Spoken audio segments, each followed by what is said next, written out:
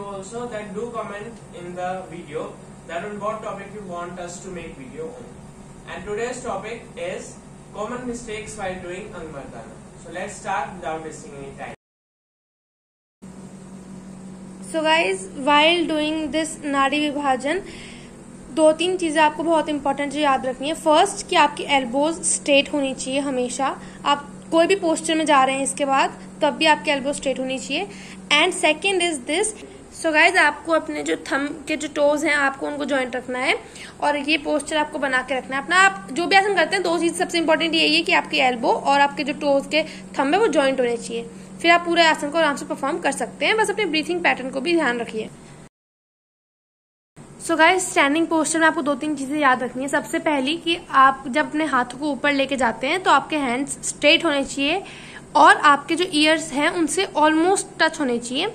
और आपको स्ट्रेट रहना है your body should be straight second से आपको याद रखनी है कि आपके पैरों में आपको वी शेप बना के रखनी है कंटिन्यू जब भी आप आसन करते हैं. सो so गाइज़ जब आप लोग बेंड करते हुए नीचे जाएँगे नेक्स्ट उसमें आपको अपनी बैक को स्ट्रेट रखना है.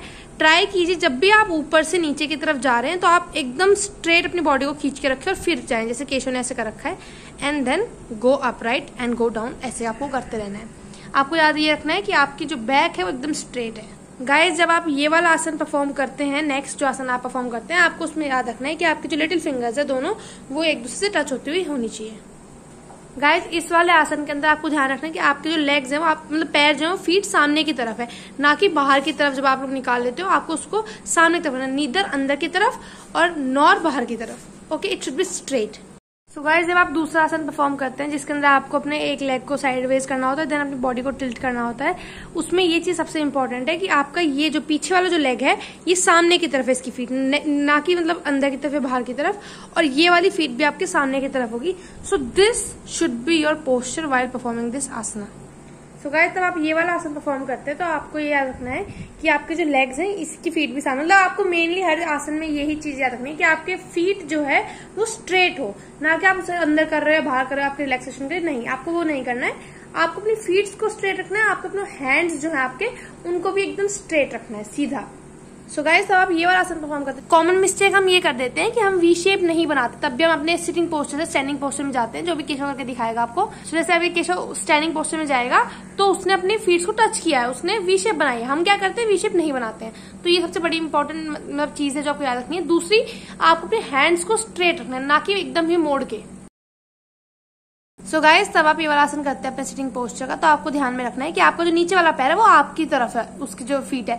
और जो ऊपर वाला है, वो स्ट्रेट है, एकदम पॉइंटेड दूसरी बात, आपकी बैक स्ट्रेट होनी चाहिए, ना कि पीछे की तरफ़ इंक्लाइन या आगे की तरफ़ इंक्लाइन और आपके हैंड्स भी स्ट्रेट होने चाहिए। सो गाइस चेयर पोस्टर में आपको ये याद ज़रूर रखना है कि आपके जो पैर है, वो आपकी तरफ़ है, ना कि स्ट्रेट आगे की तरफ़। दूसरा, अगर आपके पैर राइट साइड आ रहे हैं तो आपको अपने नेक को लेफ़्ट साइड टर्न करना है।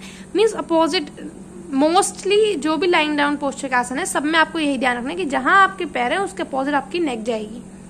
गाइज़ आपको ये भी याद रखना है कि आपके जो एल्बोज हैं, वो टच करेगी ग्राउंड को, ना कि अगर आप मोड़ रहे हैं आप अपने लेग्स को या नेक को तो अपने एल्बोज को ऊपर की तरफ़ उठा लें, ऐसा नहीं करना है। आपको हर एक आसन के अंदर ये चीज़ याद रखनी है बहुत ही अच्छे से कि आपके दोनों एल्बोज ग्राउंड को टच करेगी और आपके जो हैंड्स हैं आपके हेड के नीचे आपके हैंड्स है, वो क्लास रहेंगे एक दूसरे में, ना कि अलग अलग ये बात आपको याद रखनी है लाइन डाउन पोस्टर्स में।